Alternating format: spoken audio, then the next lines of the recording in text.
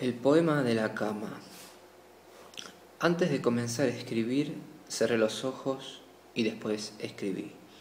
Ese día vendrá, serás libre, podrás vivir sin hacer tu cama. No me gustó lo que había escrito, no me acuerdo lo que hice después, pero escribí. La cama es ese lugar donde vives, acostado gran parte del día, te dicta obedecer, en el simple hecho de hacer la cama estás obedeciendo a alguien. No me gustó lo que escribí, del tercer intento quedó solamente un verso. El mandato más cruel es ese que te obliga a hacer tu cama. La cuarta vez que comencé el poema de la cama, escribí, mira a tu alrededor, ¿quién te obliga a hacer la cama? Te obligan a que hagas, a que lo hagas así, viene tu pareja, te visitan amigos, tienes la cama deshecha, no haces como todos, Sucio, vago, haz la cama, te gritan. Haz tu cama. Tiende las sábanas. La quinta vez escribí. Acabo de pensar que cae la ley sobre nosotras las personas y sin darnos cuenta obedecemos. Tendemos la cama y en ese estirar compramos mentiras de viejos. Odiamos nuestras arrugas tendemos la cama. Me había dicho a mí mismo que no abandonaría así, que antes de continuar escribiendo el poema de la cama anoté ideas y palabras clave. Tender, estirar arrugas, una sola manera, la manera correcta, hace la cama, estira las sábanas y no se pregunta cuándo. Con confianza, con las ideas un poco más claras, di mi sexto intento y el resultado fue, la cama y la policía se parecen.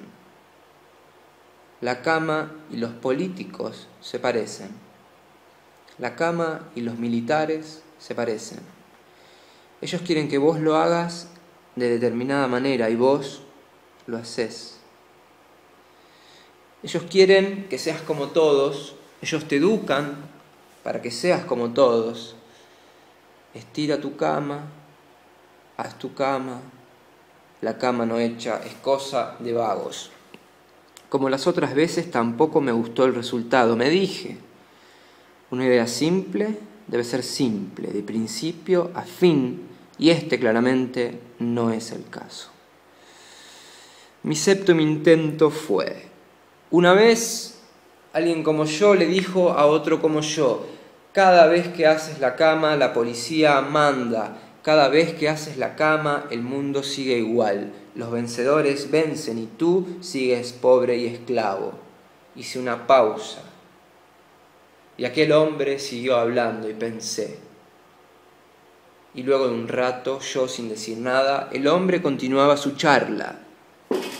Cada vez que haces la cama, violas a alguien. Cada vez que haces la cama, es tu padre el que te grita vago, y en ese grito es su padre el que grita, vago.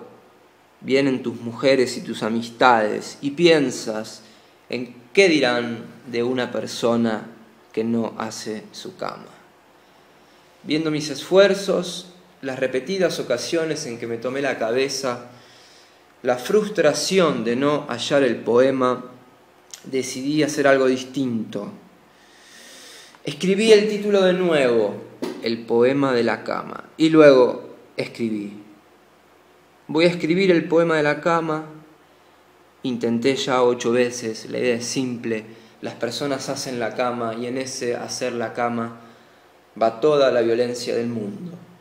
Sinceramente, no sé si esta edición del escrito cuenta como poema o no, o si acaso este intento fuera la crisis el noveno intento y la realización.